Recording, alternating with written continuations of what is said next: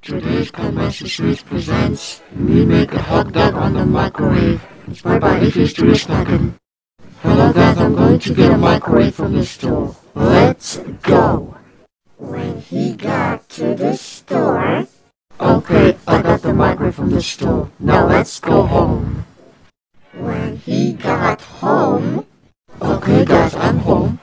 Going to cook the hot dog from the microwave. But first, I need to change the program. There we go. Now I will press the start button.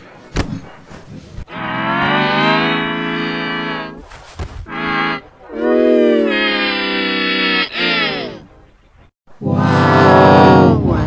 Wow, it looks delicious now. Now let's eat it.